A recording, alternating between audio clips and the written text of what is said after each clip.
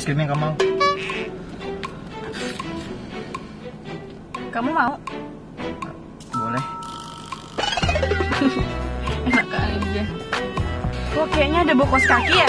Kamu nggak ganti kos kaki? Iya, kos kaki rumah pada belum kering. Ya ampun, jorok banget sih buang sana. Kamu nih ngomel aja mulu tiap hari. Ya terus kenapa? Kamu dendam gitu punya pacar yang suka ngomel, jahilin dan kadang nyusahin? Ngapain sih aku harus dendam sama orang yang aku sayang? Terkadang dalam suatu hubungan itu juga harus ada warna-warninya. Ibarat makanan.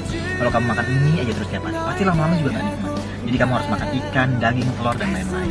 Nah, jadi kalau kamu terkadang suka nyebelin, ngeselin, dan ngomelin ya sah-sah aja. Aku sayang banget sama kamu. Aku juga sayang banget sama kamu. Kamu?